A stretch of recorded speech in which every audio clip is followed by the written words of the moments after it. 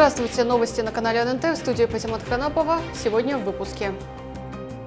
Не укладываются в срок. Дагестанские застройщики дольше всех в стране задерживают сдачу новостроек в эксплуатацию. Отдых у воды с комфортом. У Вузовского озера начато строительство сквера. Родила и задушила 23-летняя жительница Карабудахкенского района ответит в суде за убийство новорожденного ребенка. Подробности в рубрике «Дайджест». Сотрудники ФСБ совместно с МВД пресекли в Дагестане незаконный оборот оружия. Житель Новолакского района Исмаил Ибрагимов задержан с поличенными во время продажи очередной партии боеприпасов. На землю упал! На землю! Руки за спину! Впоследствии правоохранители провели обыски в домовладении задержанного. Как сообщает Управление Федеральной службы безопасности по Дагестану, на месте было обнаружено большое количество оружия, патроны различного калибра и взрывчатые вещества. В их числе автоматы Калашникова и ручной противотанковый гранатомет. По данным наших источников, Исмаил Брагимов является бывшим работником МВД в территориальном органе. В отношении задержанного возбуждено уголовное дело, которое предусматривает лишение свободы до 12 лет и штраф до 500 тысяч рублей. Дольше всех и чаще всего дагестанские новостройки лидируют по переносу сроков сдачи в эксплуатацию, сообщает Единый реестр застройщиков. Средний показатель по региону составил 2 года и 3 месяца. Это самый большой срок среди всех субъектов России. Как отмечают эксперты, чаще всего это связано с тем, что в республике распространен опыт строительства высоток без разрешительных документов. Влияет на ситуацию и резкое подорожание стройматериалов. В Махачкале началось строительство нового сквера у Вузовского озера. На сегодняшний день проведены работы по планировке территории, обрезке деревьев и установке забора. Также здесь планируется постройка деревянной тропы на сваях протяженностью 150 метров, установка детской площадки и смотровой башни высотой в 14 метров. Это одно из общественных пространств, за благоустройство которого проголосовали горожане. Работу здесь проводится в рамках реализации Махачкалой функций столицы. Первый этап работ мы планируем завершить до конца текущего года. А теперь дайджест коротких новостей в обзоре с Алией Магомедовой.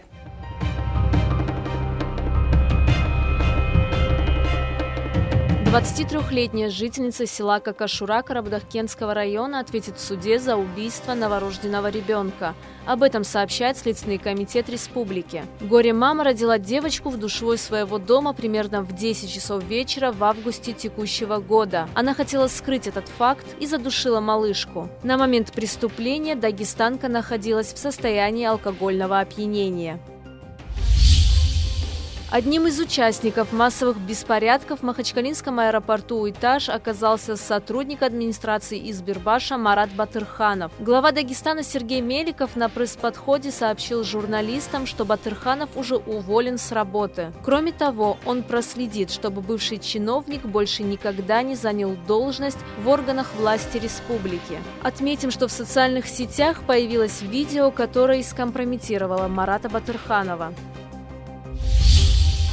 Два борта МЧС России доставят 28 тонн гуманитарного груза в сектор Газа. Об этом сообщает пресс-служба Федерального министерства. Помощь организована по указанию президента страны Владимира Путина. Она будет передана представителям египетского общества Красного полумесяца для дальнейшей отправки по месту назначения. В состав груза вошли лекарственные препараты, гемостатические средства и перевязочные материалы.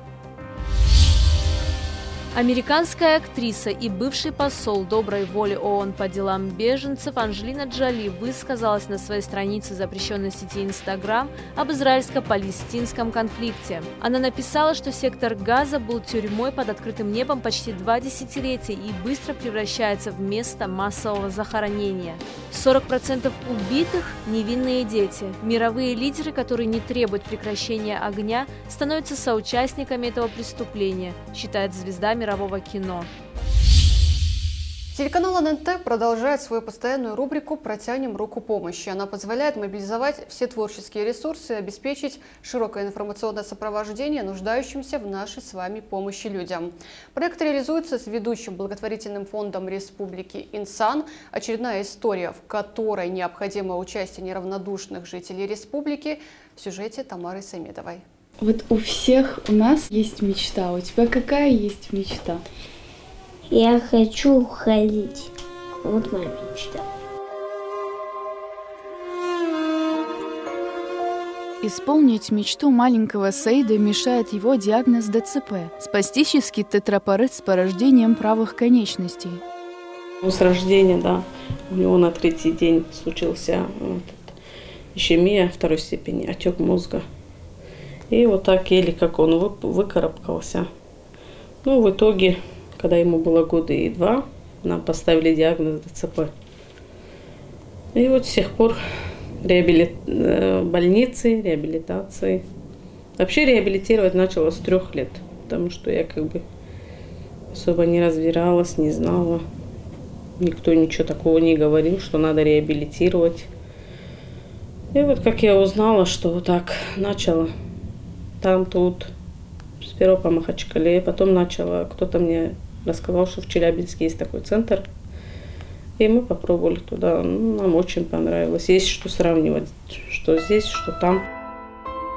Совсем недавно Саид с мамой прилетели с центра Алмазова, который находится в Санкт-Петербурге. Ему сделали операцию на позвоночник, так как мальчик страдал очень болезненными резкими сокращениями мышц. И вот мы по коте поехали в Питер, сделали эту операцию, алхамдулилля. Правда, тяжело отходил от наркоза, ну, операция длилась 4 часа 25 минут, почти 5, почти 5 часов длилась операция. Альхамдулилля. Ну, Саид мужественный мальчик. Мама Саида Загра вместе с мужем воспитывает троих детей. Финансовое положение семьи оставляет желать лучшего, как и жилищные условия. Дорогие братья и сестры, я вас очень прошу, кто сколько может, помогите нам, пожалуйста, пройти этот курс реабилитации в городе Челябинск. Ладошки подели, ну я собрался, подготовился и вырубился спать. И спать. А что ты доктору говорил перед операцией? Меня доктор делал. Ну да, перед тем, как тебя усыпить.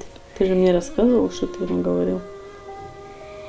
Я ему сказал, доктор, вылечите меня, пожалуйста, и мне помогите на ноги стать, пожалуйста.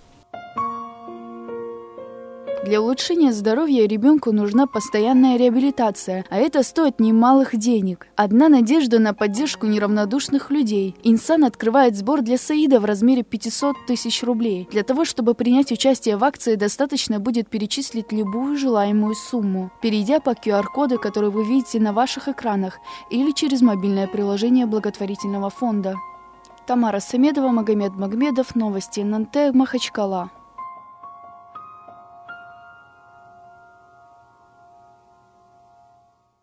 Анализ, мнения и фетвы мусульманских ученых мира. Текущую ситуацию в Палестине обсудили дагестанские алимы в богословской конференции, которая прошла в Муфтиате республики.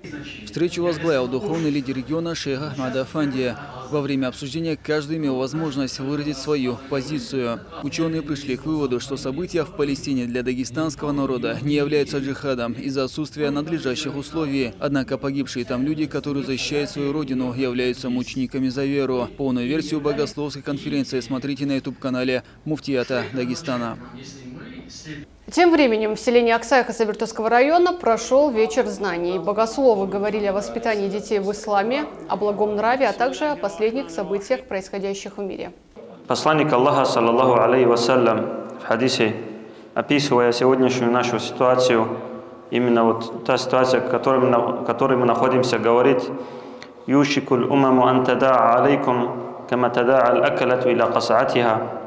Посланник Аллаха говорит, наступит такое время, когда все общины, заблудшие общины, они будут набрасываться на вас, кама тадаа аль-акалату иля касаати, как едаки, как люди, которые собрались вокруг трапезы, они приглашают, взывают других людей к этой трапезе. Подобно тому, как люди, которые собрались за столом, они приглашают к этому столу других людей, таким образом, говорит, будут на, вас набрасываться аль-умам, общины, общины неверия. На этом у меня все. Мы следим за развитием событий. В студии была Патимат Канапова. До скорых встреч.